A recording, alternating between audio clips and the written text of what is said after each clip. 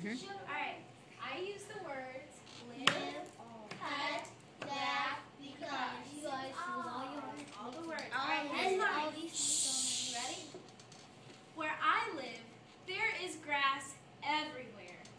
I laugh at my brother when he has to go out in the hot sun and cut the tall growing grass.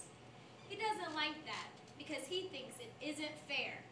So I say, I'm sorry, and watch TV inside with